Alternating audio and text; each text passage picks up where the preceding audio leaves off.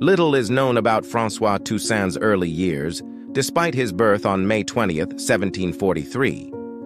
It is thought that Gao Guignou, the younger son of the monarch of the West African kingdom, Alada, was his father. His family was taken to the Caribbean and sold into slavery. Luckily, Toussaint was raised by wise masters who taught him how to read and write. He was greatly influenced by the political philosophers of the Enlightenment and the classics he read. He also grew to have a strong devotion to Catholic doctrine. Because of his intelligence and diligence, Toussaint excelled in both horsemanship and the use of medicinal plants. He soon attained the position of chief steward on the plantation after being acknowledged for his abilities by his master. According to legend, he was freed in 1776, the year the U.S. announced its separation from Great Britain.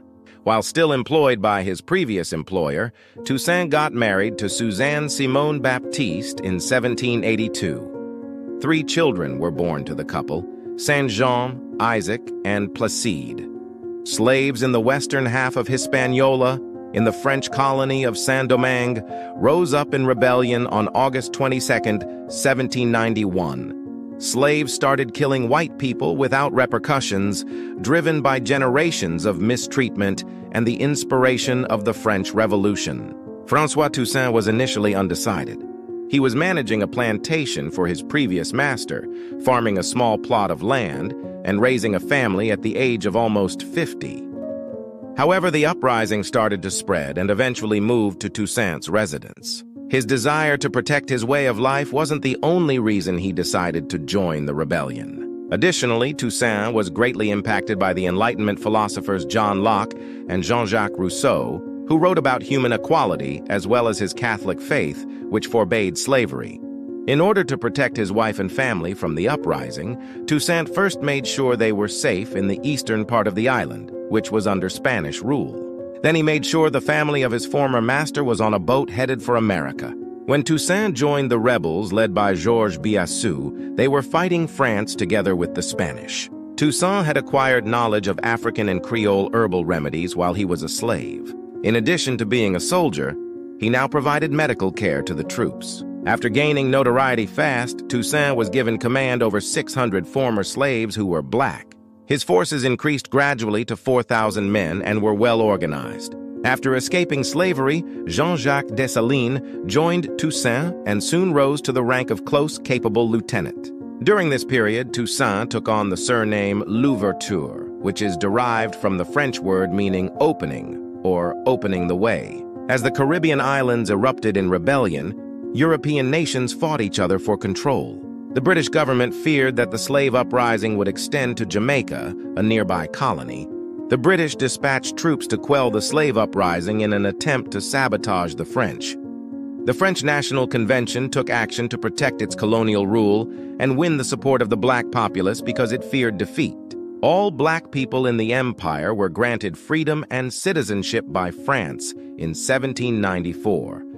Nevertheless, the British soldiers were unwavering in their resolve to destroy France's shaky hold on Saint-Domingue. Toussaint changed his allegiance and sided with the French against Spain after France decided to free its slaves. His first task was to attack the eastern part of the island, Santo Domingo, which was governed by the Spanish. Now he was up against his former black colleagues, who continued to support Spain. Troops led by Toussaint were successful in seizing Santo Domingo. Spain withdrew from Hispaniola, and hostilities between France and Spain were terminated by the Treaty of Basel, which was signed in July 1795. The remaining British forces were contained by Toussaint, making them useless, and they quickly left the island as well. Toussaint was the colony's most important military and political figure by 1796. Admired by the former slaves he would help free, he was also highly esteemed by the numerous French officials who, in theory, continued to rule Saint-Domingue. After securing a brief truce with the European powers, Toussaint turned his attention to the internal discontent that persisted on the island.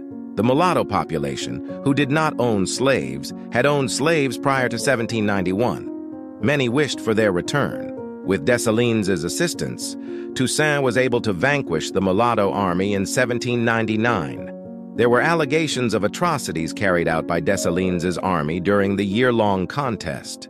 Now, Toussaint ruled the entire island of Hispaniola in a de facto capacity. He presented a constitution that reaffirmed the outlawing of slavery and named himself Governor-General for life, endowing him with almost limitless authority.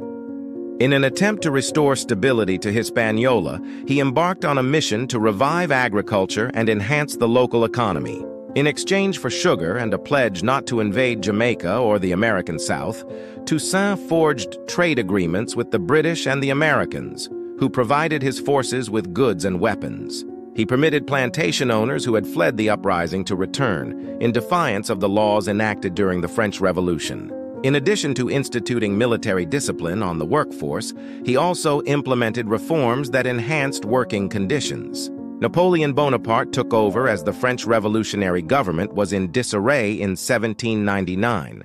He promulgated a new constitution that stipulated that special laws would govern all French colonies. Others, like Toussaint, surmised that this would mean the reintroduction of slavery. To win Napoleon over, he pretended to be a Frenchman and was cautious not to declare complete independence. In addition to reaffirming Toussaint's authority as colonial governor, Napoleon pledged not to bring back slavery. In an effort to re-establish order following the departure of the Spanish, Napoleon also banned Toussaint from invading Santo Domingo, the eastern half of the island, where he held French authority.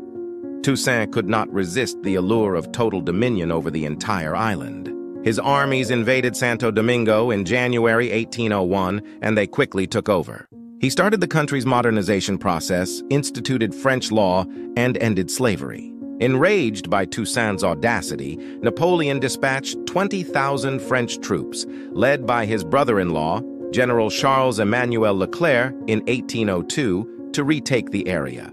These men would be a powerful force against Toussaint because they were hand-picked for their involvement in the European campaigns. Even though he didn't live to witness it, Toussaint's deeds precipitated a chain of international events that altered the Western Hemisphere's topography and signaled the beginning of the end for European colonial dominance in the Americas. Napoleon Bonaparte, frustrated by an insurrection in Hispaniola that he was unable to quell, sold the Louisiana Territory to the United States in 1803, opting not to extend his empire into North America.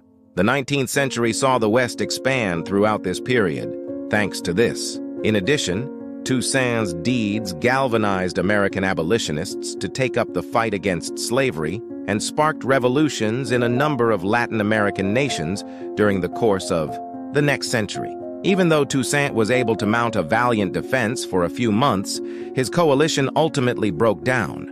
The majority of the island's European and mulatto residents supported the French. Leclerc eventually gained the support of Henri Christophe and Dessalines, two of Toussaint's finest generals. By June of 1802, it was almost over. French General Jean-Baptiste Brunet wrote Toussaint an invitation to his quarters, ostensibly to discuss peace. After being detained there, Toussaint was transported to Fort de Joux in the French Jura Mountains. On April 7, 1803, after being questioned extensively, he passed away from starvation and pneumonia.